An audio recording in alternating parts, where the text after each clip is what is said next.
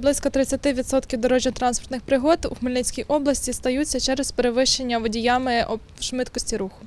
Тобто даний закон є досить доречним, адже перевищення швидкості руху є причиною багатьох ДТП.